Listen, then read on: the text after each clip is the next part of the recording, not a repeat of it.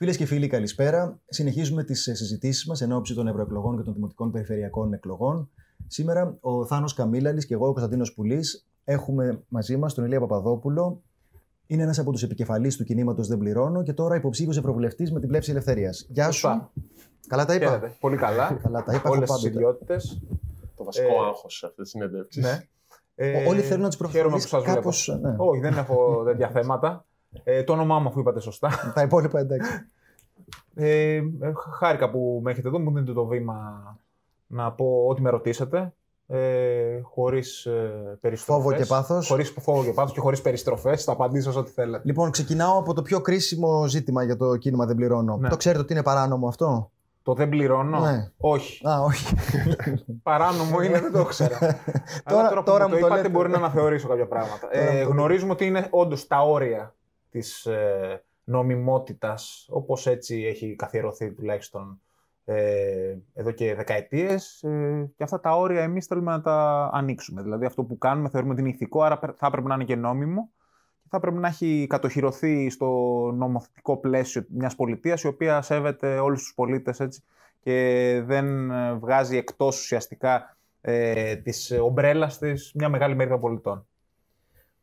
Εμένα μου είχε κάνει εντύπωση ότι είχατε βρει κάποιους, για μένα λίγο αναπάντεχους ε, υποστηρικτές. Θυμάμαι είχε γράψει κάποια στιγμή ο Χρήστος Γιαναράς ε, ένα άρθρο, το οποίο χρησιμοποιούσε τα πολιτικά ναι. επιχειρήματα της ε, ανυπακοής και έλεγε αυτό που μου φαίνεται και εμένα πάρα πολύ λογικό, ότι με δεδομένη τη φύση των ε, συμβάσεων είναι μια απολύτως ε, ηθική αντίδραση το να, το να αρνηθεί κανείς να, να υπηρετήσει αυτού του τύπου τις ε, ηλεκτρικές ε, συμβάσεις. Όσον αφορά το θέμα των διοδίων, να θυμίσουμε γιατί έχουν περάσει και αρκετά χρόνια από, από όταν βρισκόταν αυτό το κίνημα στα, στο Ζενή θα έλεγα, ε, διότι ψήφισαν νόμους που το ποινικοποίησαν, έτσι έγινε ουσιαστικά. Ε, αυτό που θα ήθελα να πω σε σχέση με αυτό που ε, ρωτάς είναι ότι οι άνθρωποι που ε, στελέχωσαν εντός εισαγωγικών ε, το κίνημα δεν πληρώνω, δεν είχαν κάποια ιδεολογική ταυτότητα απαραίτητος πριν, είτε αριστερή, είτε ε, αναρχική, είτε οτιδήποτε.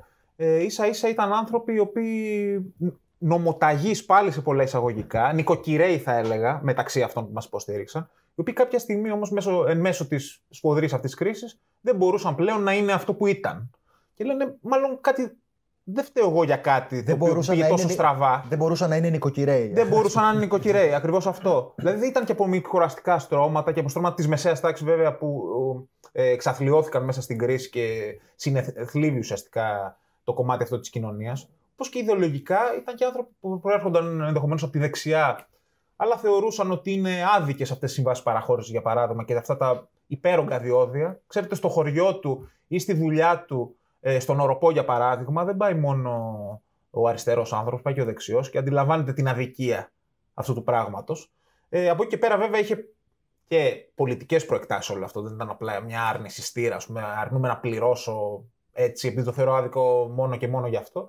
Γιατί αντιλαμβανόμαστε ότι η μεγαλοεργολάβη και το μεγαλοεργολαβικό κεφάλαιο στη χώρα μας επί δεκαετίες κυβερνούσε. Είχε και ένα πολιτικό προσωπικό με συγκεκριμένη ταυτότητα, θα έλεγα, και ιδεολογική και πολιτική που ήταν και το κατεστημένο, ας πούμε, Πασόκ, Νέα Δημοκρατία, ε, που όλοι μαζί ουσιαστικά συνυπέγραψαν αυτές τις συμβάσεις παραχώρησης και ουσιαστικά οι δρόμοι ε, Ποιο είναι... Μία νυχτή πήγαν στους μεγαλοεργολάβους. Από δημόσιοι έγιναν ιδιωτικοί. Ποιο είναι λοιπόν το πολιτικό στίγμα, Ποια είναι η πολιτική προέκταση αυτής της αρχικής άρνησης που λέει ότι αυτό είναι άδικο και δεν το πληρώνει.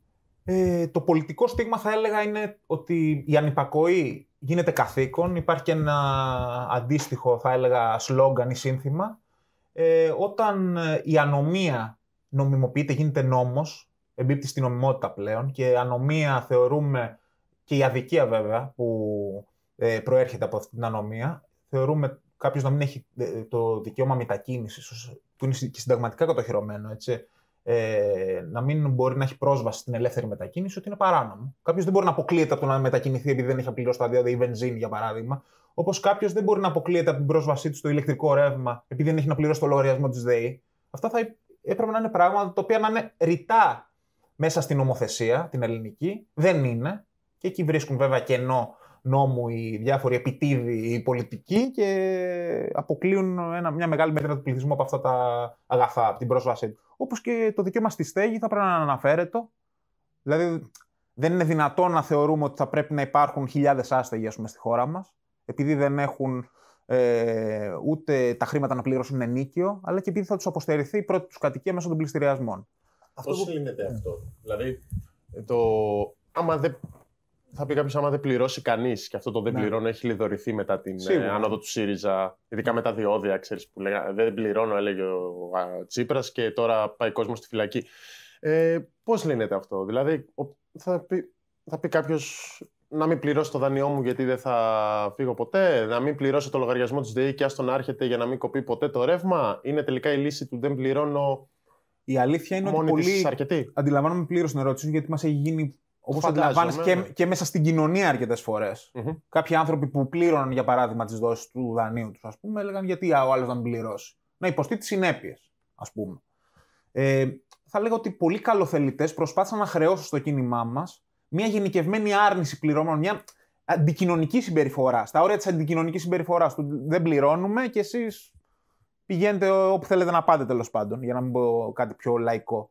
Ε, Εμείς αντίθετα ως ένα κίνημα το οποίο από την αρχή έθεσε πολύ συγκεκριμένα όρια στο πού αρνούμαστε να πληρώσουμε, σε τι ανυπακούμε να πληρώσουμε, ε, θα έλεγα ότι αντιπαρήλθαμε αυτής της κριτικής που δεν ήταν αδικαιολόγητη ουσιαστικά, και η οποία προερχόταν βέβαια και κατά κύριο λόγο από κακοπροαίρετους ανθρώπους. Αν κάποιος έψαχνε τη δράση μας και αυτά που λέμε, θα έβλεπε ότι δεν ήταν μέσα. Είναι τώρα, δεν ξέρω Όχι. ε, έκανε πολύ καλή ερώτηση γιατί όντως ε, απασχολεί πάρα πολύ κόσμο αυτό. Κατά πόσο το κίνημα δεν πληρώνει, δηλαδή έχει μια γενικευμένη άρνηση ή μιλάει για συγκεκριμένα πράγματα και για συγκεκριμένες κοινωνικές ομάδες. Εμείς αυτό που λέγαμε είναι ακριβώς ότι πρώτα απ' όλα την κρίση δεν πρέπει να την πληρώσει ε, το 99% χονδρικά της κοινωνίας που δεν ευθύνεται για αυτήν, αλλά θα πρέπει να την πληρώσει το 1% που τη δημιούργησε είμαστε απόλυτα πεπισμένοι ότι αυτή η κρίση δημιουργήθηκε από συγκεκριμένους ανθρώπους με συγκεκριμένη στόχευση. Δεν οφείλεται στις ε, τυρόπιτε που έχουμε αγοράσει χωρίς απόδειξη, δηλαδή η κρίση; Ή στα τυροπιτοδάνεια που έπαιρνε ο κόσμος. ναι. ε, δεν οφείλεται σε αυτό. Αν δούμε ένα πάρα πολύ μικρό ποσοστό ε, της έκθεσης της χώρας και σε επίπεδο δημόσιου χρέους αλλά και σε επίπεδο ιδιωτικών χρεών, ε, προέρχεται από την ε, πραγματική άρνηση, συνειδητή άρνηση ανθρώπων που μπορούσαν να πληρώσουν, να πληρώσουν. Ε, το, η μεγάλη πλειοψηφία, το μεγαλύτερο ποσοστό των ε, μαύρων τρυπών, θα έλεγα, και σε επίπεδο δημοσίου χρέους και ιδιωτικού, είναι σε χρήματα που με διάφορες διαδρομές τα έφαγαν οι μέτεροι, ε, μεγαλοσχήμονες, μεγαλοκαρχαρίες, θαλασσοδάνεια, μίζες. Ε, τι να πω. Το τα σκάνδαλα όλα αυτά έχουν δημοσιοποιηθεί για τη Siemens, για το χρηματιστήριο. Το έχεις διαβάσει το βιβλίο του Πάγκαλου. Δεν ναι. το. Ναι. Έχω διαβάσει κάποια αποσπάσματα, ας το πούμε έτσι. Ναι, η αντιστροφή αυτού του επιχειρήματος ήταν η απόπειρά του να, να ε, εξηγήσει με αριθμητικά στοιχεία γιατί είπε το, ε, τα φάγαμε όλοι μαζί. Ο Πάγκαλος θεωρεί ότι όταν διόριζε, για παράδειγμα, μέσω του γνωστού ρουσφετιού, ο ίδιος είτε η σύντροφή τους σε εισαγωγικά κάποιον άνθρωπο, αυτός ο άνθρωπος του χρωστούσε αιώνια ευγνωμοσύνη ε, και γινόταν συνένοχος. Αυτό ήταν, αυτός ήταν και ο τρόπος του πολιτικού συστήματος να έχει στο χέρι τους απλούς πολίτες. Παρ' όλα αυτά, ο άνθρωπος αυτός που αποδεχόταν το ρουσφέτη, πολύ κακός θα έλεγα εγώ, γιατί εξέθρεψε όλο αυτό το σύστημα της συναλλαγής μεν, αλλά ουσιαστικά τι καρπονόταν; Καρπονόταν ένα αναφέρει το δικαίωμα στην εργασία. Αν είχε εργασία δηλαδή με έναν φυσιολογικό τρόπο, δεν θα παρακαλούσε ούτε θα φιλούσε την ποδιά κανενός πάγκαλου προκειμένου να την διασφαλίσει. Είπες για όρια. Να. Δηλαδή, είπες το δεν πληρώνω, βάζει κάποια όρια. Ποια είναι αυτά; Τα όρια είναι ότι ένας άνθρωπος που θεωρούμε ότι μπορεί να πληρώσει, μπορεί να πληρώσει, θα πρέπει να πληρώνει ανάλογα με τις δυνατότητές του, μέσω της άμεσης φορολογίας, για παράδειγμα, που είναι μια φορολογία, αν και έχει διαστρεβλωθεί ο τρόπος που φορολογείται και κάποιος μέσω της άμεσης φορολογίας, που λαμβάνει υπόψη τι κοινωνικά κριτήρια, εισόδημα, δεν είναι η έμεση φορολογία ή κάποια χαράτσια τα οποία μπαίνουν ανεξαρτήτως οικονομικής δυνατότητας του άλλου. Θεωρούμε ότι οι πολίτες πρέπει να πληρώνουν άμεση φορολογία, για παράδειγμα. Πρέπει να πληρώνουν ανάλογα με τις δυνατότητές τους, ε, προκειμένου και οι ίδιοι να καρπώνονται ανταποδοτικά πάντα κάποιες παροχές κοινωνικού κράτους, κράτους πρόνοιας, ε, παιδείας, υγείας κτλ. Δρόμων, ασφαλών δρόμων, έτσι. Ε, αλλά και οι συμπολίτες τους που δεν μπορούν να πληρώσουν άμεση φορολογία, ε, να καρπώνονται και αυτοί αυτά τα αγαθά. Δηλαδή, εγώ για παράδειγμα που έχω μια χή οικονομική δυνατότητα και μπορώ ε, να πληρώσω για τη δημόσια υγεία, ε, να επιδοτώ εμέσως και τον συμπολίτη μου που δεν έχει τη δυνατότητα πρόσβασης ιδιωτικά στο αγαθό της υγείας. Ε, αυτά είναι τα όρια κατά την άποψή μου. Είναι απόλυτα θεμητό δηλαδή. Ε, Κάποιος που δεν μπορεί ε, να επιδοτείται μέσω από ένα συμπολίτη του που μπορεί. Εγώ νομίζω ότι η μεγαλύτερη λαθροχειρία στο επιχείρημα των ανθρώπων αυτών που λένε ότι ορίστε εσείς ε, δεν πληρώνετε, έχετε αντικοινωνική συμπεριφορά, είστε παράσιτα που ζείτε εις βάρος των άλλων, είναι ότι υπάρχουν ε, κοινωνικές κατηγορίες που όντως δεν πληρώνουν, είναι παράσιτα, ζουν εις βάρος των άλλων. Και είναι οι ίδιοι οι μακαλοεργολάβοι με τα μέσα ενημέρωσης που φροντίζουν να ναι. διαχέονται αυτές οι απόψεις. Σωστά. είχε βγάλει και ο Μινάς Κωνσταντίνου το ρεπορτάζ αυτό για, τις, ε, ε, για τους μεγαλοεργολάβους και τα, και τα πρόστιμα. Και η αλήθεια είναι ότι. Σε, σε ερώτηση του Νίκου Χουντή και σε απάντηση της Κομισιόν ότι είναι στο χέρι της ελληνικής κυβέρνησης για το αν θα θέλει να εξασκήσει κάποια μεγαλύτερη πίεση και ουσιαστικά να υποχρεώσει τους εργολάβους να πληρώσουν για το καρτέλ των κατασκευαστικών. Να το εξηγήσουμε. Οπότε νομίζω ότι είναι ένα από τα παράδοξα αυτής της ιστορίας ότι ε, ε, ενοχοποιείτε το κίνημα λέγοντας Ορίστε, είναι ανεύθυνη και αντικοινωνική η συμπεριφορά σας και απλώς κοιτάζετε το ατομικό σας ε, συμφέρον να γλιτώσετε εσείς από κάτι το οποίο δεν μπορεί παρά να χρηματοδοτείτε. Ενώ στην πραγματικότητα αυτό περιγράφει με πολύ μεγάλη ακρίβεια αυτό που λες εσύ σχηματικά, ας πούμε το 1%. Να κάνω ένα παραλληλισμό. Λένε ότι όσο μεγαλύτερο είναι ένα ψέμα, τόσο πιο εύκολα γίνεται πιστευτό, για παράδειγμα. Ε, θα έλεγα ότι όσο μεγαλύτερη είναι, είναι, όσο μεγαλύτερη είναι μια βδέλα που απομυζά, τόσο δυσκολότερα μπορεί να την ε, διακρίνει ο άλλος και να τη δείξει. Α πούμε, έχουμε ακούσει για τα θαλασσοδάνεια, για παράδειγμα. Πώς πήραν. Πώς πάρθηκαν αυτά τα δάνεια, με τι εγγύηση, με τίποτα ουσιαστικά και δεν επιστράφησαν και ποτέ. Ε, έχουμε ακούσει για τα υπερκοστολογημένα έργα των μεγαλοεργολάβων και τον τρόπο που και επίσημα έχει βγει από την Επιτροπή Ανταγωνισμού το πόρισμα, το οποίο αναμένουμε βέβαια ακόμη να βγει στη δημοσιότητα. Το πώς κυκλικά μοίραζαν τα έργα, τα δημόσια έργα, τα υπερκοστολογημένα, προκειμένου όλοι να φάνε από την πίτα και των δρόμων και άλλων φυσικά έργων υποδομής. Ε, ένα ακόμη επιχείρημα, το οποίο είναι πολύ απλό, σε κάποιον μπορεί να φανεί και απλοϊκό, αλλά έχει τη σημασία του, είναι ότι στο κίνημα δεν πληρώνω. Δεν είναι μόνο άνθρωποι που, για παράδειγμα, δεν πληρώνουν το δάνειό τους ή έχουν πάρει δάνειο. Δεν είναι ένα κίνημα δανειοληπτών, δεν είναι ένα κίνημα χρεοκοπημένων ανθρώπων μόνο. Είναι και τέτοιοι φυσικά συμπολίτες μας, γιατί είναι και μέσα στην ελληνική κοινωνία πλέον πάρα πολύ, ε, πάρα πολύ μεγάλο το ποσοστό τέτοιων ανθρώπων εγώ για παράδειγμα ε, δεν έχω ούτε δάνειο πάρει. Εντάξει, είναι και η γενιά μου ίσως αυτή που δεν μπορεί να πάρει δάνειο. Το τραπεζικό σύστημα πλέον είναι ένα σύστημα ζόμπι καθαρά που δεν, ε, δεν έχει σχέση με την πραγματική οικονομία, ας το πούμε έτσι. Ε, δεν έχω δάνειο, δεν χρωστάω στη ΔΕΗ. Ε, χρέη στα διόδια έχω, για να σου πω την αλήθεια, από παλιότερα. Περιμένω αν θα μου έρθουν κάποια στιγμή. Και δικογραφίες έχεις, αλλά. Και δικογραφίες κτλ. Αλλά θέλω να πω ότι το προφίλ των ανθρώπων που αγωνίζονται δεν είναι μόνο ένα προφίλ που δεν πληρώνουν. Είναι ένα προφίλ ανθρώπων που προσπαθούν να κατοχυρώσουν κάποια δικαιώματα τα οποία θεωρούν αναφέρετα, που δεν θα πρέπει να αφαιρούνται σε μια σύγχρονη κοινωνία, με κέντρο τον άνθρωπο, ανθρωποκεντρική κοινωνία, ε, που μπορεί οι ίδιοι να μην, να μην είναι θύματα αυτού του προβλήματος, να μην έχουν το πρόβλημα δηλαδή. Και θα λέγω ότι αυτό μας ε, ξεδιαλύνει και κάποιες ε, ίσως σκιές που μπορεί να έχει κάποιος για το κίνητρο που το κάνουν ε, αυτοί οι άνθρωποι αυτό το πράγμα. Δηλαδή, Ούτε από πληστηριασμό κινδυνεύω, ούτε χρέη έχω, έτσι σε τράπεζες. Εντάξει, κοίταξε. Ναι. Για ποιο, με ποια έννοια το λέω αυτό, ότι δεν έχω ίδιο όφελος από αυτό το πράγμα, από αυτόν τον αγώνα που δίνω. Το κάνω για, για τους συμπολίτες μας, το κάνω για τον εαυτό μου, για τη συνείδησή μου. Θεωρώ ότι πρέπει να αφήσουμε ένα χνάρι από το πέρασμά μας στην ιστορία και στην κοινωνία και γι' αυτό το κάνω καθαρά για τέτοιους λόγους. Ναι. Πάντως δεν, δεν είναι και ενοχοποιητικό στοιχείο για κάποιον αν υπερασπίζεται το. Ακριβώς, αυτό πιστεύω την επιβίωσή του, ας πούμε, με αυτόν τον, ε, αυτόν τον τρόπο. Ε, είπε ο Θάνος για, για τις ε, δικαστικές διαμάχες. Κάπως έτσι γίνεται η επαφή με την ε, Ζωή Κωνσταντοπούλου, αναλαμβάνει την νομική σας υπεράσπιση απέναντι Εμείς τη Ζωή στους... Ε, Κωνσταντοπούλου πριν το 2010-2011 δεν τη γνωρίζαμε, ούτε προσωπικά και πολιτικά τη γνωρίζαμε μόνο και μας γνώριζε από την δράση πιο καθένας, ας πούμε, στο μετερίζι του. Ε, τη γνωρίσαμε πρώτη φορά το 2010 ε, μια υπόθεση διοδίων όπου είχε σχηματίσει μια δικογραφία με αρκετούς κατηγορούμενους από το κίνημά μας.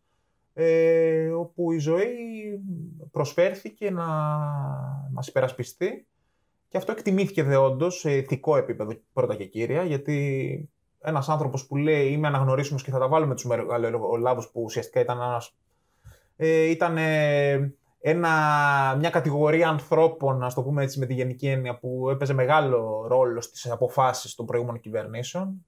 Ε, ανέβασε και έριχνε κυβερνήσεις. Είναι ένας άνθρωπος που φαίνεται ότι και έχει τα κότσια, αλλά και δεν έχει τις εξαρτήσεις εκείνες που θα τον, θα τον έκαναν να διστάσει να τα βάλει με αυτά τα συμφέροντα. Ε, αυτή ήταν η πρώτη μας επαφή. Ε, μετά από αυτό είχαμε και πολλές κοινές δράσεις και σε νομικό επίπεδο και σε ακτιβιστικό. Θα έλεγα ότι κάπως παντρέψαμε ο καθένας την ειδικότητά του κατά μία έννοια. Δηλαδή εμείς πιο πολύ είχαμε αφιερωθεί στον ακτιβισμό, στον πολιτικό ακτιβισμό. Ε, η Ζωή Κωνσταντοπούλου είχε αφιερωθεί στον νομικό και ακτιβισμό και μη ακτιβισμό και μέσα στα πλαίσια ας πούμε.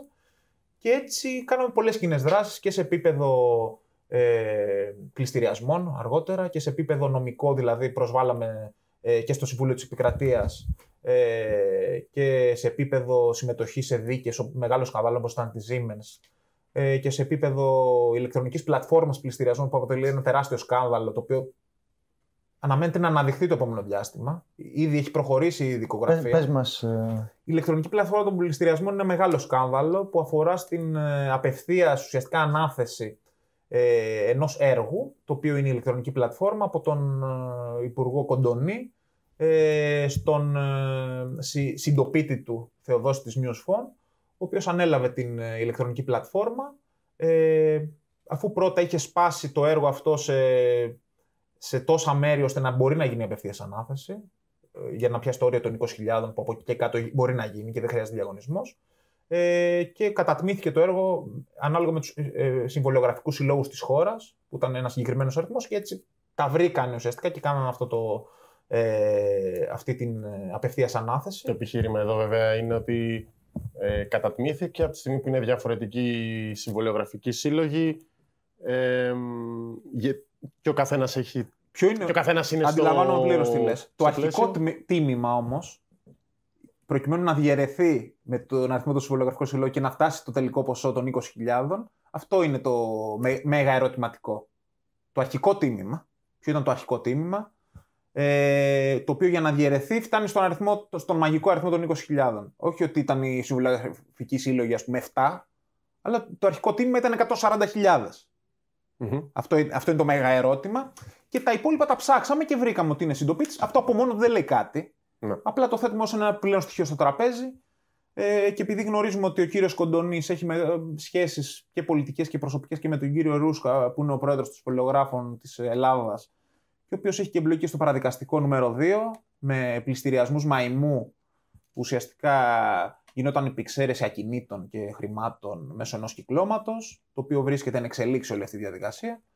Ε, υπάρχουν πάρα πολλές σκιές οι οποίες μας κάνουν ενδείξεις, οι οποίες αναμένονται να γίνουν και αποδείξεις, αλλά αναμένουμε τη δικαιοσύνη να αποφασίσει γι' αυτό, οι οποίες μας ε, δείχνουν ότι μάλλον είναι ένα σκοτεινό περιβάλλον αυτό το οποίο ε, κρατάει τα ενία της διαδικασίας των πληστηριασμών και της όλης διαδικασίας. Σίγουρα αυτό, επειδή θυμάμαι εκείνη την περίοδο και είχαμε μιλήσει και με τον, ε, μαζί σου στο ραδιόφωνο και με τον Λεωνίδα, ναι. ε, έγιναν ασκήθηκαν πολλές πιέσεις σε, σε συμβολιογραφικούς συλλόγους. Είχαμε τότε ε, αποχές, όχι θα γίνει, να περνάει fast track, ο Κοντονής να φωνάζει στη, στη Βουλή. Γενικά ασκήθηκαν πολλές πολιτικές πιέσεις. Αυτό νομίζω ότι μπορούμε να το πούμε με βεβαιότητα εκείνη την περίοδο για να, περάσουν, για να περάσουν ηλεκτρονικοί πληστηριασμοί. Υπάρχουν και φωτογραφίες συνάντησης ε, συμβολιογράφων, ε, των, της ηγεσίας των συμβολιογράφων με την Τρόικα, απευθείας συναντήσεις δηλαδή. Αντιλαμβανόμαστε πόσο ψηλά στην ατζέντα ε, ήταν το θέμα και όσον αφορά την Τρόικα των πληστηριασμών και των κόκκινων δανείων, το οποίο όντως είναι ένα πολύ σημαντικό ζήτημα. Δεν το υποβαθμίζουμε. Είναι πάρα πολύ σημαντικό ζήτημα. Αλλά το θέμα σε όλα αυτά είναι ποιος θα πληρώσει τελικά το λογαριασμό. Θα τον πληρώσουν ποτέ οι τράπεζες οι οποίες έχουν ανακεφαλαιοποιηθεί ε, με πάνω από 200 δις και κεφάλαια και εγγύησεις από τον ελληνικό λαό. Θα το πληρώσουν ποτέ οι τράπεζες που έδιναν δάνεια δίχως εγγύησης όλα τα προηγούμενα χρόνια και διαφή, πολυδιαφήμιζαν δάνεια. Γνωρίζω ακόμη και από τραπεζικά στελέχη ότι αν δεν έπιανες ένα ε, συγκεκριμένο όριο δανείων που έδινες, ε, μπορεί να παίρνεις δυσμενή μετάθεση, για παράδειγμα, μέσα στην τραπεζα mm Ε, αντιλαμβανόμαστε σε τι περιβάλλον δηλαδή λειτουργούσαν άνθρωποι εντός του, του τραπεζικού συστήματος και πώς τη δεκαετία 2002-2010 κυρίως γιγαντώθηκε μια φούσκα υπερδανισμού. Πώς τους τάιζαν για να τα φάμε όλοι μαζί; Ναι, πώς πώς τάιζαν, όντως. Πώς τάιζαν τον κόσμο με χρήματα τα οποία θεωρούσε ότι μπορεί να αποπληρώσει, γιατί τα εισοδήματα του έφταναν τότε, παρκούσαν για να αποπληρώνει. Αλλά έσκασε μετά όλη αυτή η φούσκα, ήρθε και η κρίση. Να και να που πλέον τα κόκκινα δάνεια είναι στο όριο των 80 δισεκατομμυρίων και ήταν και σε πολύ μεγαλύτερο αριθμό πριν. Νομίζω ότι αυτό είναι και ένα πολύ χαρακτηριστικό και ισχυρό επιχείρημα για το τι συμβαίνει με τα κόκκινα δάνεια. Ότι αυτός ο κόσμος μέχρι την κρίση πλήρωνε. Συνεπώς, όταν μιλάς για παταξίδες και ανθρώπους οι οποίοι είναι ε, οι στρατηγικοί κακοπληρωτές και, και όλα αυτά τα επιχειρήματα που δείχνουν έτσι, δείχνουν, στιγματίζουν ηθικά αυτόν που δεν πληρώνει ως κάποιον Ακριβώς. πάλι που είναι ένα, που είναι ένα παράσιτο και λες, καθίστε ρε παιδιά, εδώ, στατιστικά, αν το δούμε πώς ε, συμπεριφερόταν οικονομικά ο κόσμος πριν και μετά την κρίση, αυτό που βλέπουμε προκύπτει μια εικόνα που δείχνει ότι αυτό που άλλαξε είναι η κρίση. Τα δάνεια, χαρακτηριστικό αυτό που λες είναι ότι τα κόκκινα δάνεια προ-κρίση ήταν 9 δισεκατομμύρια και το, πριν από ένα χρόνο, για παράδειγμα, είχα ξεπεράσει τα 100 δισεκατομμύρια. Δηλαδή, αντιλαμβανόμαστε ότι. Χάλασε ο χαρακτήρας όλων αυτών Ναι, όλοι αυτοί οι άνθρωποι ξαφνικά, από άνθρωποι νομοταγείς, ας πούμε, οι οποίοι πλήρωναν τις υποχρεώσεις, έγιναν στρατηγικοί κακοπληρωτές. Ναι.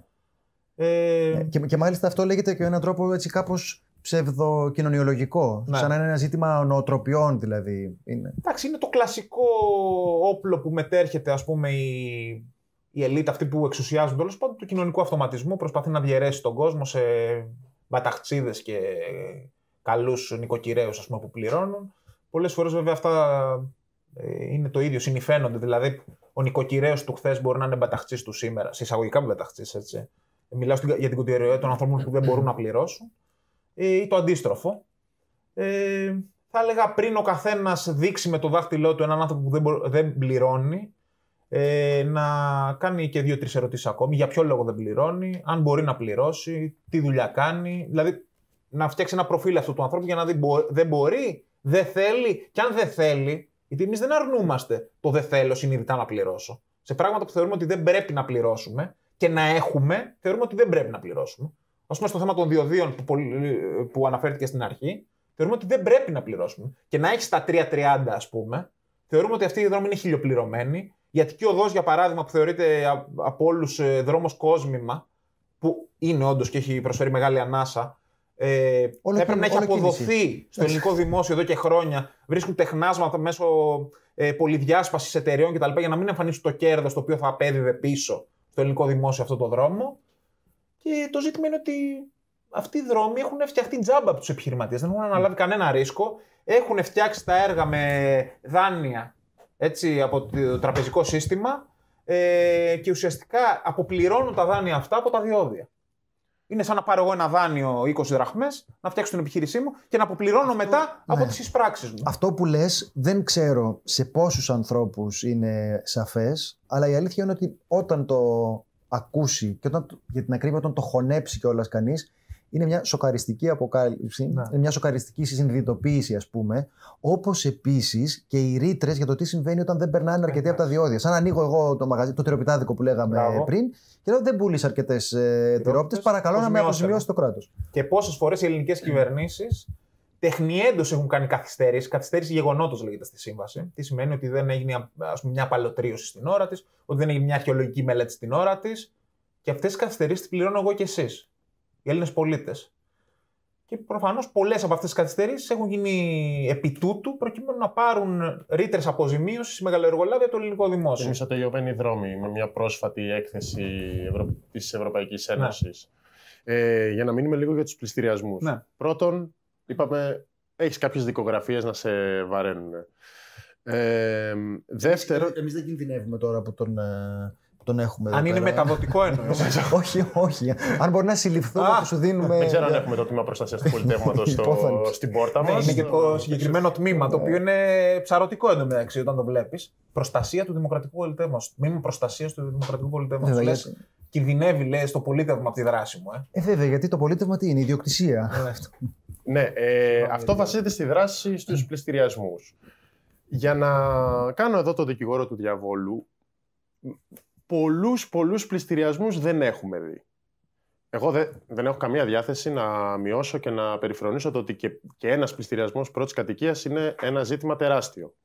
Αλλά αυτό το κύμα και τους που έχουν τεθεί και σχετικοί στόχοι δεν το είδαμε. Είναι σαν να καθυστερούσε λίγο, λίγο, λίγο και δεν το έχουμε δει ακόμα. Ε, φταίνει οι ρυθμίσεις που πέρασε η κυβέρνηση και ο νέος νόμος Κα, ε, Κατσέλη. Υπάρχει κατά την αίσθησή σου κάποια άλλη πρόθεση; Είναι, τόσο, είναι οι τράπεζες που, δεν θέλουν, που θέλουν να αποφύγουν και δεν τους νοιάζουν τα ακίνητα; Είναι διάφορα πράγματα τα οποία λοιπόν, ακούγονται.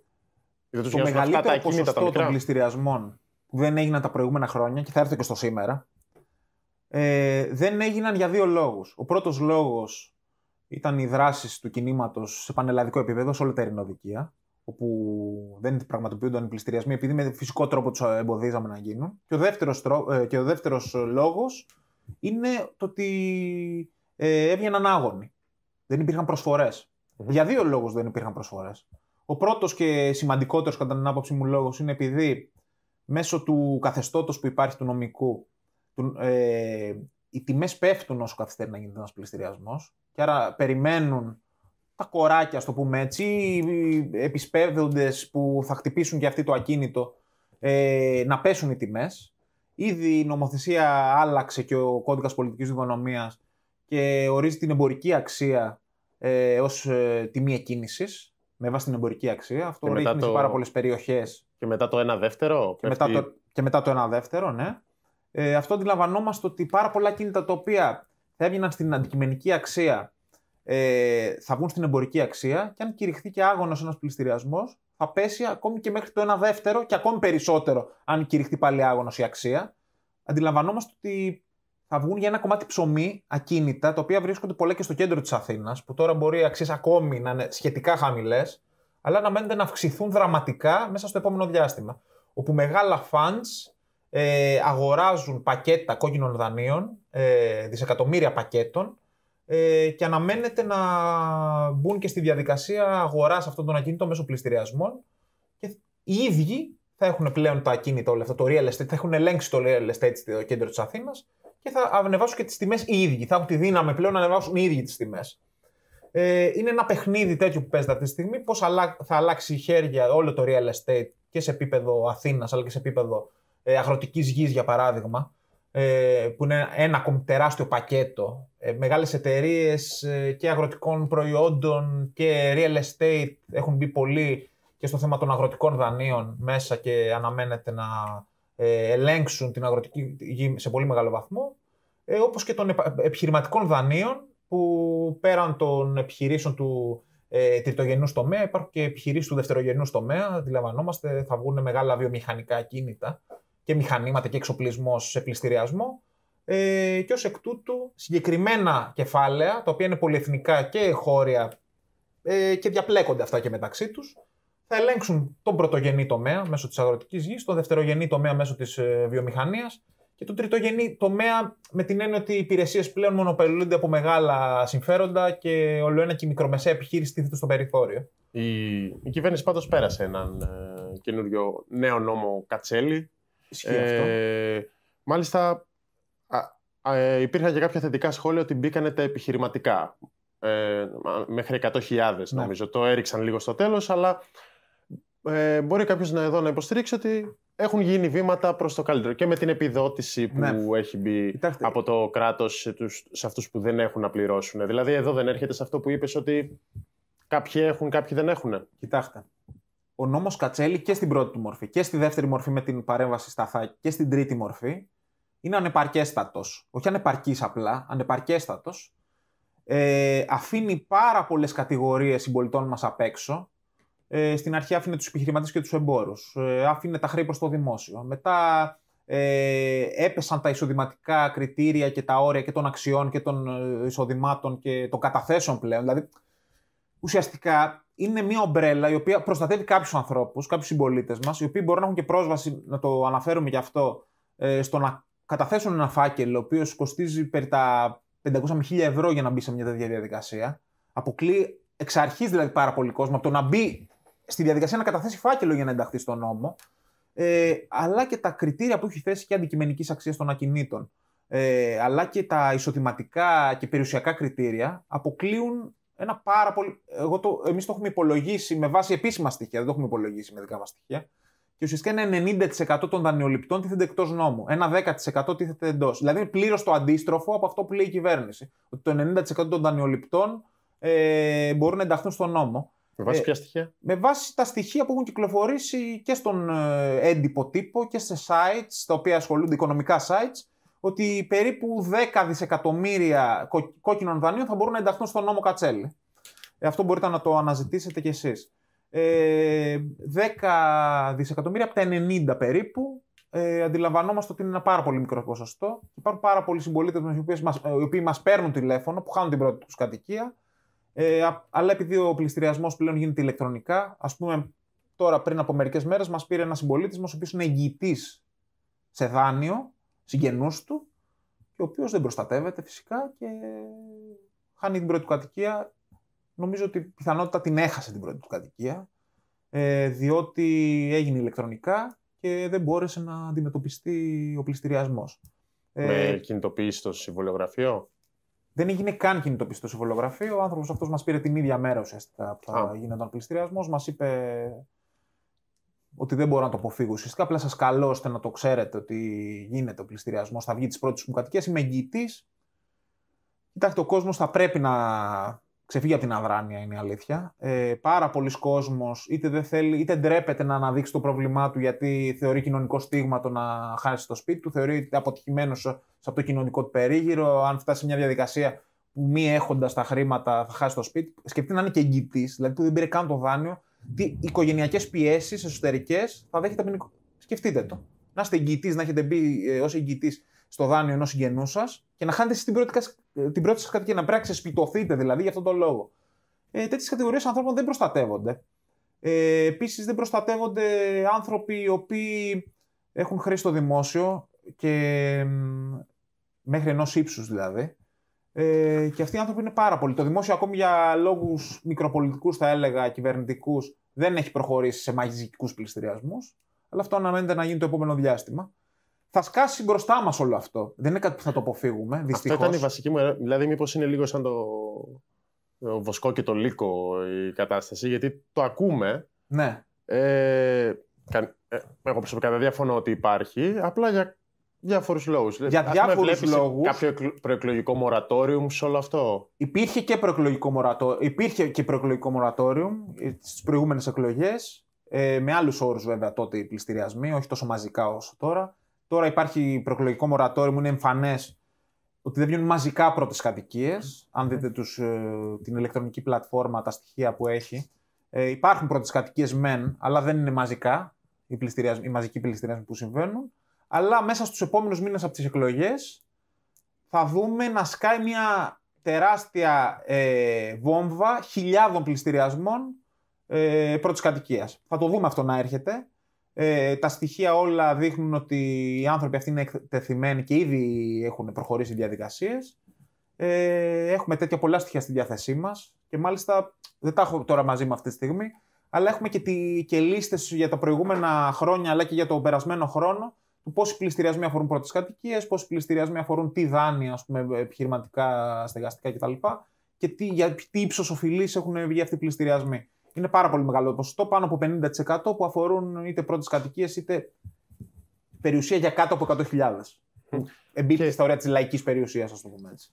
Και γιατί η Ευρωβουλή το, το δεν πληρώνω; Κοιτάξτε, η ευρωεκλογική. Δηλαδή, θα περίμενε Ναι. κάποιος, μιλάμε τόσο ώρα για τους πληστηριασμού. Μπορούμε να πούμε και για τη ΔΕΗ με τις επανασυνδέσεις Ναι. και τους ανθρώπους χωρίς ρεύμα.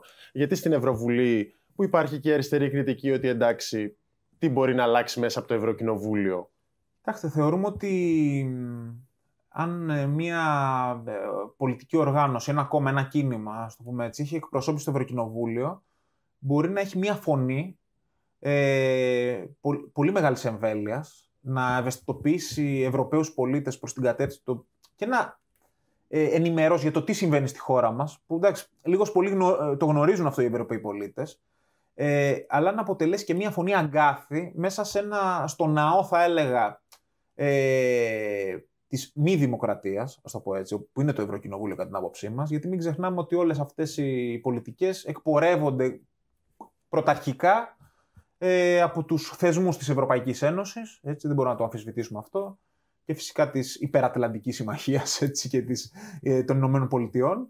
ε, θα έλεγα ότι εμείς αποτελούμε μαριονέτα αυτών των δυνάμεων. Ε, το πολιτικό προσωπικό είναι ένα προσωπικό που υπακούει πλήρως στις ε, εντολές και στην καθοδήγηση του Ευρωπαϊκού Ιερατείου.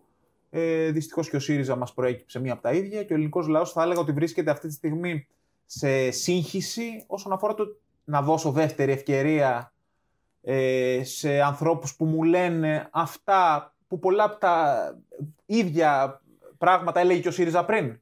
Γιατί δεν αμφισβητεί κανείς ότι ένα μεγάλο μέρος της ατζέντα μας, σαν κίνημα, χρησιμοποιήθηκε από το ΣΥΡΙΖΑ προεκλογικά προκειμένου να κεφαλαιοποιήσει έτσι, και στη συμπατολογία και τη δυσαρέσκεια πολιτών. Οπότε θα έλεγα ότι είναι μια πρώτη τάξη ευκαιρία πρώτον του να έχουμε έναν εκπρόσωπο στο Ευρωκοινοβούλιο ως πλεύση ελευθερίας ε, προκειμένου να τεθούν ζητήματα τα οποία έχουμε στην πρωτομετωπίδα της ατζέντας μας, που είναι και τα ανθρώπινα δικαιώματα, είναι και οι γερμανικές οφειλές, είναι και. Θέλω να ρωτήσω κάτι ναι. για αυτά που, που τα, τα κοίταζα και στην ε, ανακοίνωσή σας. Ανάμεσα σε αυτά που ε, περιγράφεις τώρα ναι. είναι και η μία αναγνώριση, η διαγραφή του. Εκεί θα, αυτό θα ήταν ακριβώς το επόμενο που θα σου έλεγα. Το φαντάστηκα. Ε, αυτό μου προκαλεί και εμένα κάποια ερωτηματικά, γιατί έχω την ε, εντύπωση και αυτή είναι και μια κριτική νομίζω, εγώ τη βρίσκω δίκαιη προς ναι. την ε, ε, Ζωή Κωνσταντοπούλου, η πεποίθηση ότι μπορεί να υπάρξει μια ε, νομική επίλυση αυτών των, αυτών των ζητημάτων. Δηλαδή, η αίσθησή μου είναι ότι διατυπώνεται ως ένα πρόβλημα Εντάξει, αν το διατυπώσει ω πρόβλημα δικαίου και ηθικής, πάρα πολύ λίγοι θα συγκινηθούν ή θα συγκινηθούν οι ε, σύντροφοί μας και θα είμαστε όλοι ικανοποιημένοι για το ότι είμαστε με τους καλούς και όχι με τους ε, κακούς. Αν το διατυπώσεις ως νομικό πρόβλημα, πάλι ε, έχω τον ε, φόβο ότι δεν αποτυπώνονται επαρκώς οι συγκρούσεις ισχύως που υπάρχουν σε αυτά, τα, σε αυτά τα πεδία. Και νομίζω ότι αυτό είναι κάτι που το 2015 είναι από τα πράγματα που το, που το πληρώσαμε. Δηλαδή ναι. ότι υπήρχε αυτή η πεποίθηση ότι αν έχεις δίκιο, αν ε, θα πάμε, θα απευθυνθούμε σε αυτό, στους δεσμούς, σε αυτά. Συγκινηθεί και... ο κόσμος, οι πολίτες ναι. τη Ευρώπης και έγιναν όλα αυτά, αλλά τελικά κέρδισε ο ισχυρός για να το συμπληρώσει. Δύο είναι για μένα οι συνιστώσεις, θα έλεγα, αυτού του θέματος. Πρώτη και κύρια είναι το, ο κινηματικός, θα έλεγα ευρύτερα, θα το έλεγα έτσι, πολιτικός κινηματικός. Δηλαδή, ο ελληνικός λαός να πιστεί ότι είναι άδικο αυτό το χρέος. Και πώς θα πιστεί ότι είναι άδικο ένα χρέος, όχι μόνο επειδή δυσκολεύεται να το πληρώσει ως δημόσιο χρέος, ως μέρος της κοινωνίας γενικά που στο καθένα μας επιμερίζεται ας πούμε, το δημόσιο χρέος, ε, αλλά και, και νομικά. Δηλαδή, πώς θα πιστεί ένας λαός ότι ένα χρέος είναι επονίδι στο παράνομο, ε, όταν δεν υπάρχουν και νομικά επιχειρήματα. Στο τέλος, τέλος, και, και χώρες οι οποίες έχουν αμφισβητήσει το χρέος, ας πούμε η Αργεντινή, η Ισλανδία, ε, στα δικαστήρια τρέχουν μέχρι και σήμερα για να αποδείξουν ότι ένα μέρος ή το σύνολο του χρέους τους προς τρίτες χώρες είναι παράνομο. Και εν μέρη έχουν δικαιωθεί. Σε πολλά δικαστήρια έχουν δικαιωθεί. Δεν θέλω να υποβαθμίσω την ε, νομική διάσταση του θέματος. Νομίζω η Ζωή Κωνσταντοπούλου έκανε μια πάρα πολύ καλή δουλειά ε, με το πόρισμα ε, για τον έλεγχο του δημοσίου χρέους. Αυτό που πρέπει να αξιοποιηθεί δεν αρκεί, δεν επαρκείς προφανώς. Είναι αναγκαία για μένα αυτή η μελέτη, δεν επαρκή και δεν έχει ολοκληρωθεί κιόλας μια λογιστική επιτροπή ε, ελέγχου του χρέους είναι απαραίτητη. Όλες οι χώρες το κάνουν αυτό. Δεν είναι, κάτι, δεν είναι κάποιος βερμπαλισμός ούτε κάποιος λαϊκισμός αυτό το πράγμα. Όλες οι χώρες που χρωστούν θα πρέπει να έχουν επιτροπές λογιστικού ελέγχου των χρεών τους, προκειμένου να δουν αν έχουν προέλθει αυτά τα χρέη. Μαζί σου. Ε, Πώς έχουν προέλθει και με ποιο τρόπο και ποιο μέρος τους πρέπει και οφείλουν οι λαοί να το αποπληρώσουν ή όχι. Σύμφωνοι. Το, το, επόμενο, το επόμενο βήμα ναι. είναι ότι φανταζόμαστε ότι πηγαίνουμε με το πόρισμα αυτής της αυτής της ε, επιτροπής, καθόμαστε στο τραπέζι και λέμε άρα. Αυτό το πόρισμα είναι ένα πολύ καλό εργαλείο, δεν είναι επαρκές. Πολύ καλό εργαλείο ε, το οποίο θα είναι στη νομική φαρέτρα μας, ας πούμε, όταν προσφύγουμε στα διεθνή δικαστήρια. Είναι μια πολύ ρεαλιστική λύση αυτή. Εγώ ε, γενικά και σαν άνθρωπος δεν μου αρέσει να λέω, ούτε να λαϊκίζω, ούτε να λέω ε, πράγματα τα οποία δεν ευσταθούν. Ε, είναι μια πολύ ρεαλιστική λύση η προσφυγή στα διεθνή δικαστήρια, προκειμένου να διεκδικήσεις διαγραφή ενός μέρους του χρέους σου. Υπάρχουν, ε, πιστεύω, και αποδεικνύεται και από αυτές τις μελέτες, ε, επαρκή επιχειρήματα. Πάντα σε ένα δικαστήριο, βέβαια, υπάρχει και αντίθετη άποψη, έτσι των πιστωτών, το πούμε έτσι, και των διεθνών οργανισμών, ε, προκειμένου να διαγραφεί ένα πολύ μεγάλο κομμάτι του, του χρέους μας. Και στο κομμάτι αυτό, έστω και αν η κυβέρνηση δεν θέλει να τα συσχετίζει και για ηθικούς λόγους όπως επικαλείται και όχι μόνο, είναι και το θέμα της διεκδίκησης των γερμανικών οφειλών. Όταν υπάρχουν ε, ε, δισεκατομμύρια που οφείλουν να αποπληρωθούν από τη Γερμανία αυτή τη στιγμή ως οφειλές στο κράτος και όταν αυτό το ποσό επαρκεί για την αποπληρωμή του μεγαλύτερου κομματιού του χρέους, αντιλαμβανόμαστε ότι και να μην θες να τα συσχετήσεις γιατί είναι δύο διαφορετικά ζητήματα που έγιναν σε διαφορετικές περιόδους ενδεχομένως, δεν μπορεί η Γερμανία να ζητά από την Ελλάδα να, είναι, ε, να αποπληρώνει στην ώρα χωρίς καμία καθυστέρηση της δόσης, όταν η ίδια αθετεί μια υποχρέωση με τεράστιο και ηθικό και οικονομικό βάρος προς τη χώρα. Επίσης, πάλι μιλάμε για μια διαδικασία προσφυγής σε διεθνή δικαστήρια και ακόμα κι αν θέλουμε να πούμε ναι. ότι δεν κάνει κουμάντο ισχυρός και ότι ένα διεθνές δικαστήριο θα αποφασίσει αμερόληπτα, αυτό είναι μια διαδικασία. Το ναι. βασικό όμως νομίζω με, το, με την πλεύση ελευθερίας και ε, είναι το οικονομικό ζήτημα. Ναι. Δεν, δεν το βλέπω δεν να τίθεται. Και κάνουμε την ίδια ερώτηση στους υποψηφίους της ΛΑΕ. το, το νομισματικό εννοείς, οικονομικό; Ε, Ολοκλήρωσε μάλλον την ερώτηση ναι, γιατί νομισματικό, να θες, διάφορα ζητήματα. Νομισματικό, παύλα, οικονομικό. Ναι. κάνουμε την ίδια ερώτηση στους υποψηφίους της ΛΑΕ ναι. και την κάνουμε και επίμονα και έντονα και έχουν μια κάποια απάντηση ότι παιδιά εμείς έχουμε μια προγραμματική θέση, εδώ τα έχουμε πει όλα ή τα έχει πει ο Λαπαβίτσας ή δεν ξέρω τι. Άσχετα το πόσο περνάει στο δημόσιο διάλογο. Σε εσάς νομίζω ότι η κατάσταση είναι λίγο χειρότερη. Δηλαδή, έχω ακούσει την κυρία Κωνσταντοπούλη να λέει ότι το νόμισμα είναι εργαλείο δημοκρατίας κλπ και σιγά σιγά νομίζω να πηγαίνει και λίγο προς, τη, προς την έξοδο από το ευρώ. Όσο Δεν θα έλεγα τόσο σιγά όσο νομίζεις. Κι εγώ έτσι νομίζω. Ναι. Ωραία, ναι. Θα έλεγα πολύ πιο γρήγορα. Αλλά ας πούμε. Όταν... πολύ πιο ευθαρσό στο, στον πολιτικό λόγο πλέον της ζωής Κωνσταντοπούλου. Επειδή έχουμε κάνει και πολλές συζητήσεις για το θέμα του νομίσματος. Ναι, ναι, Αν, μου, αν μου επιτρέπει. Ε... Ήμουν άδικος στο σιγά σιγά, ήταν μια. Ναι. Σίγουρα Αλλά τώρα το, κάνω, τώρα το κάνω ακόμα πιο βαρουφάκι. Τώρα πια. Τώρα έχω και ο Βαρουφάκης. Τώρα, αν συζητάμε για τον ε, κύριο Βαρουφάκη, ο οποίος είναι και συνάδελφος και δεν έχω και τίποτα απέναντι του προσωπικού, είναι πολιτική, Αλλά... πολιτική κριτική κάνουμε, ναι. Ο κύριος Βαρουφάκης ε, φέρει πολύ μεγάλο μερίδιο ευθύνης για όλη αυτή την ε, διολίστηση του ΣΥΡΙΖΑ ε, προς την ε, Κολοτούμπα. Θα έλεγα. Διολίστηση προς την Κολοτούμπα. Γιατί; Ε, Πριν πάμε εκεί για ναι, να το. Ολοκληρώσουμε. Αν θέλετε να κάνουμε. Ναι, ναι, ναι. ναι. Πριν... ε, Δηλαδή, ναι, δραχμή. Παράλληλα όμως βάζετε πρώτο ζήτημα το ότι θα καταγγελθεί το δημόσιο χρέος.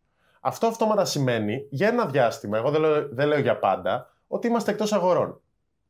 Δηλαδή εκείνη τη στιγμή έχεις να, να καταγγελθεί το δημόσιο χρέος, να φύγεις από το ευρώ και ενδιάμεσα τι; Δηλαδή... Λοιπόν, μεγάλο ζήτημα το, αυτό το οποίο ανοίγεις, το οποίο βέβαια δεν είναι τόσο σύνθετος όσο ακούγεται οικονομικά. Mm-hmm. Οικονομοτεχνικά, για να σου το πω έτσι. Υπάρχουν συγκεκριμένα βήματα, τα οποία και γραπτώ έχουν τεθεί ε, και από μελετητές. Και εγώ προσωπικά έχω ασχοληθεί με ένα κομμάτι αυτού του πράγματος, δηλαδή για τη μετάβαση σε εθνικό νόμισμα. Υπάρχουν συγκεκριμένα βήματα ε, μιας διαδικασίας κάποιων μηνών, η οποία θα ακολουθηθεί, προκειμένου να μεταβούμε από ένα νόμισμα όπως είναι το ευρώ σε ένα εθνικό νόμισμα ε, αυτά τα βήματα εμπεριέχουν και διαστάσεις συσχετισμών και πολιτικής, δηλαδή το πώς θα μας πιέσουν οι πιστωτές, πώς θα μας πιέσουν ε, γεωστρατηγικά, γεωπολιτικά κτλ. Γιατί θα υπάρξουν όλ, όλες αυτές οι πιέσεις και προαπαιτούν την ύπαρξη ενός λαού ο οποίος θα είναι διατεθειμένος να υποστηρίξει αυτή την επιλογή. Δηλαδή, να έχει εθνική ομοψυχία, εθνική, ταξική ομοψυχία, για να πω και αυτό το κομμάτι. Έτοιμος ήταν, να ξέρεις. Ναι, δεν είπα τίποτα. Να πω και αυτό το κομμάτι. Εθνική ομοψυχία, γιατί θα βγεις από το ευρώ σαν έθνος. Δηλαδή, OK, okay, δεν θα βγεις σαν εργατική τάξη. Όλο το, το, ε, εγώ το θέτω πάλι. Ε, και στη δραχμή δεν θα έχουμε όλοι τα ίδια συμφέροντα. Ακριβώς. Η ταξική διαστρωμάτωση υπάρχει πάντα σε μια κοινωνία όσο υπάρχει ταξικό σύστημα. Έτσι, δεν το συζητάμε. Ταξικό σύστημα εκμετάλλευσης. Mm. Ε, αλλά εθνικά θα επιδιώξεις ως κυβέρνηση να βγεις από το ευρώ. Λοιπόν, υπάρχει μια συγκεκριμένη διαδικασία. Άμα ο ελληνικός λαός φτάσει στο σημείο να φέρει στην κυβέρνηση μια δύναμη, όπως είναι για παράδειγμα η πλεύση ελευθερίας, είναι με το ποδυνάμεων που θα έχουν ε, στην ατζέντα τους την μετάβαση σε ένα εθνικό νόμισμα, πιστεύω θα είναι απόλυτα έτοιμος. Το έκανε, πιστεύω, ήταν έτοιμος έστω και ενστικτοδός και όχι και πολύ συγκροτημένα μέσα του ε, στο δημοψήφισμα. Ε, όπου έδωσε λευκή επιταγή ουσιαστικά στον Τζίπρα και είπε: Δεν θέλω μνημόνια. Πάρε, σου δίνω το χρήσμα, ας πούμε, σου δίνω την εξουσία να κάνεις ό,τι θεωρείς σωστό, ε, ακόμη και να βγεις από το ευρώ. Εγώ έτσι ε, τουλάχιστον ανέγνωσα αυτή τη, αυτό το εκοφαντικό όχι, έτσι, με πολύ μεγάλο ποσοστό. Μια δεύτερη αντίστοιχη διαδικασία, ακόμη πιο συγκροτημένη βέβαια, θα ήθελα να δω, προκειμένου να δώσει την εξουσία ο ελληνικός λαός ε, και ο ίδιος δηλαδή να μπει στην μετωπίδα όλου αυτού, ενός κινήματος, το οποίο θα διεκδικήσει εθνικό νόμισμα όχι ως φετίχ, αλλά ω μια διαδικασία επανάκτησης της εθνικής και λαϊκής κυριαρχίας. Έτσι θα τη βλέπαμε εμείς. Γιατί δεν γίνεται το μέτωπο.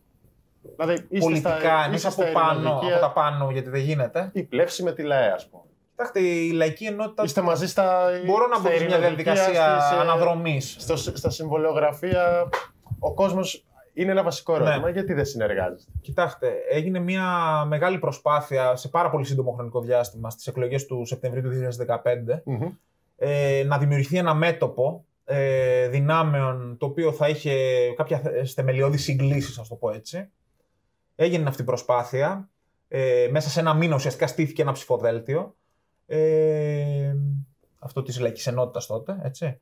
Ε, έκτοτε γνωρίζετε ότι για, για 0,1 δεν υπήρξε κοινοβουλευτική εκπροσώπηση. Ένας λόγος παραπάνω να μην ένας, διασπαστεί περισσότερο. Ε, ένας λόγος παραπάνω να αναδειχθούν θέματα που ίσως αν, δεν, αν είχε γίνει είσοδος στη Βουλή να μην αναδεικνύονταν τόσο γρήγορα Δηλαδή διαφωνίες επί θεμελιωδών θεμάτων, διαφωνίες στον τρόπο οργάνωσης και τρόπο ανάπτυξης αυτού του μετόπου.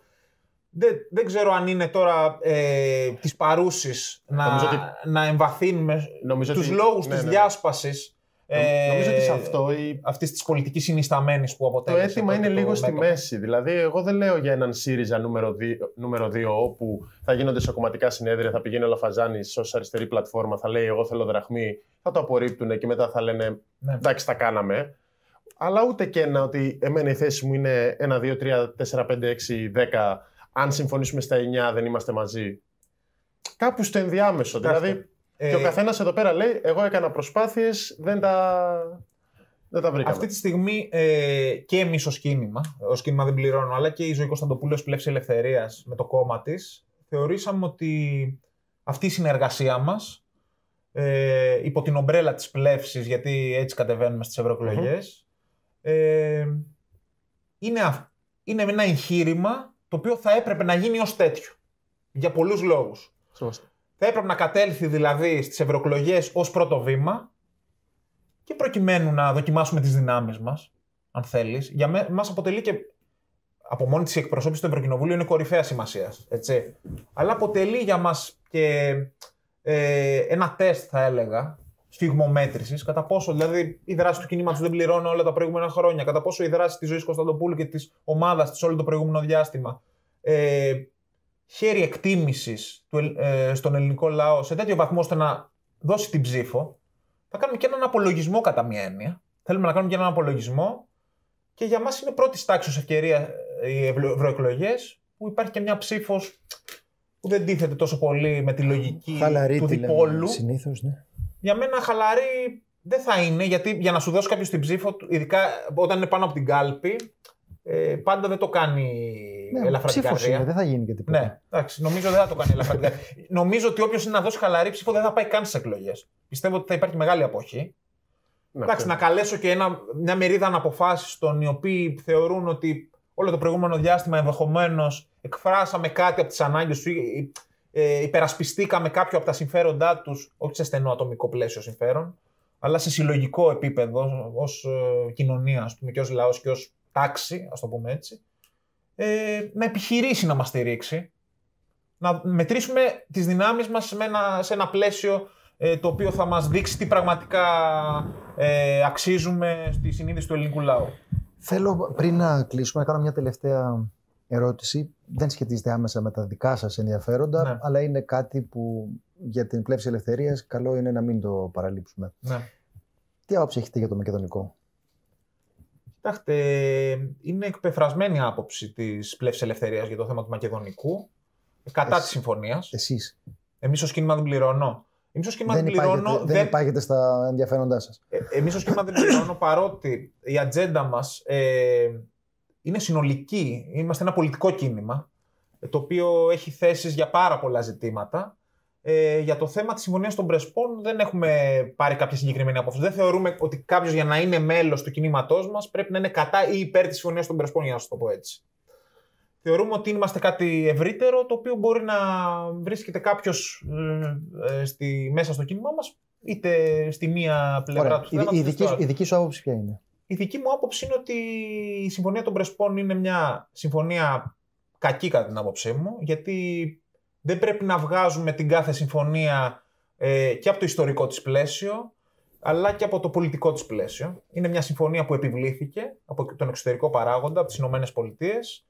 Είναι μια συμφωνία που ουσιαστικά ήρθε για να δώσει λύση σε πάρα πολλά εισαγωγικά σε σχέση με την ονομασία ενός κράτους, ε, το οποίο αποτελεί ε, βάση των Ηνωμένων Πολιτείων στην περιοχή και θα αποτελέσει το επόμενο διάστημα φυσικά και πολύ πιο ισχυρή βάση, όπως βάση αποτελεί και η χώρα μας. Αλλά δεν μπορεί να ισχυριζόμαστε ότι δεν θέλουμε η χώρα μας να αποτελεί βάση των ΗΠΑ, αλλά είμαστε υπέρ του να ενισχυθεί η παρουσία της, των ΗΠΑ στην περιοχή μέσω της οικοδόμησης μια πολύ πιο, πιο συμπαγούς βάσης στα βόρειά μας. Δεν είναι παράλογο να αποφασίζουμε κάτι για τη χώρα μας, αλλά όχι για μια άλλη χώρα.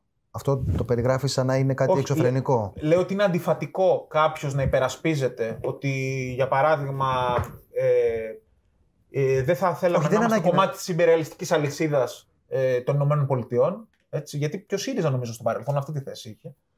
Ε, και να θεωρεί ότι μια κατα... νέα κατάσταση που δημιουργείται στην περιοχή, η οποία ευνοεί την ανάπτυξη αυτής της αλυσίδας και την ε, ε, ανάπτυξή της, ότι αυτό είναι προς τη σωστή κατεύθυνση. Το ερώτημα δεν θα ήταν αν εσύ συμφωνείς. Το ερώτημα είναι αν εσύ Εγώ διαφωνώ μπορείς... με λίγα λόγια με την συμφωνία. Αυτό το καταλαβαίνω. Το, το ερώτημα θα ήταν αν εσύ μπορείς να αποφασίσεις εξ ονόματος κάποιου τρίτου. Α μην επεκταθούμε Όχι, και κρατώ την απάντηση. Ένα τελευταίο Νομίζω είναι καθαρή για... άποψή μου. Ναι, ναι, ναι, πέρα... ναι. Άλλοι συμφωνούν, άλλοι διαφωνούν. Η απάντησή σου στρέφεται στο νατοϊκό, το οποίο ως και εγώ το καταλαβαίνω με τις βάσεις. Και όχι μόνο βέβαια. Αλλά στρέφεται. Έβαλες μπροστά το νατοϊκό. Το έβαλα. Το, και... ναι. το, τον Αμερικανικό παράγοντα. Ναι. Έχω την εντύπωση ότι η πλεύση δεν έχει βάλει τον Αμερικανικό όχι. παράγοντα μπροστά. Ερώτηση δηλαδή, έβαλε... άποψη, την προσωπική. Ναι, ναι, ναι. ναι, ναι. Ε, η πλεύση... Έβαλε το όνομα. Πιο ναι, η πλεύση έβαλε πιο ψηλά το όνομα. Εγώ θέτω αυτό το ζήτημα ως okay. ατομική μου άποψη, προσωπική μου άποψη. Γιατί πιστεύω ότι αυτή είναι η ουσία, κατά βάση ε, χωρίς βέβαια να υπάρχει ένα μπλοκ αυτή τη στιγμή δυνάμεων σε παγκόσμιο επίπεδο, το οποίο θα έλεγα ότι η χώρα μας θα έπρεπε να μπει σε αυτό το μπλοκ. Ναι. Πλέον η υπεριαλιστική δύναμη, χωρίς να εξισώνω βέβαια την επίδραση του καθενός στο διεθνές γίγνεσθε, η υπεριαλιστική δύναμη κατά την άποψή μου είναι και η Ρωσία, αλλά όχι σε, αυτό το, σε αυτή την ένταση όπως είναι οι ΗΠΑ, αλλά και οι ΗΠΑ. Άρα δεν θα αντιπρότεινα κάτι το άλλο. Έτσι. Εντάξει, κατανοητό. Λοιπόν, Θάνο, αν δεν έχεις κάτι άλλο να συμπληρώσεις, σε ευχαριστούμε πάρα πολύ. Εγώ ευχαριστώ και εκ μέρους του κινήματος Δεν Πληρώνω ε, που δώσατε το βήμα αυτό ώστε να εκφράσουμε μέρος των απόψεών μας και γενικότερα αλλά και σχέση με τις ευρωεκλογές. Ε, αλλά και ως πλεύση ελευθερίας πιστεύουμε ότι αυτή η προσπάθεια είναι μια προσπάθεια που αξίζει ε, να στηριχθεί. Γι' αυτό συμμετέχουμε κι άλλωστε σε αυτήν. Είμαστε άνθρωποι που εντάξει, δεν θέλω να είμαι υπερφύαλος, αλλά έχουμε δώσει διαπιστευτήρια αγώνα το προηγούμενο διάστημα ε, ο ελληνικός λαός μπορεί να βρει σε εμάς ανθρώπους που θα υπερασπιστούν ε, τα συμφέροντά του. Έτσι πιστεύω, έτσι θέλω να πιστεύω, χωρίς να είμαι υπέρ της διαδικασίας της ανάθεσης. Ε, και πιστεύω ότι η ψήφος ε, του ελληνικού λαού στις ευρωεκλογές θα είναι ιδιαίτερα σημαντική και σαν ε, τροχιοδεικτικό βλήμα για τις επόμενες ε, εκλογικές μάχες. Λοιπόν, ευχαριστούμε πάρα πολύ. Σας ευχαριστούμε που μας παρακολουθήσατε. Καλό βράδυ.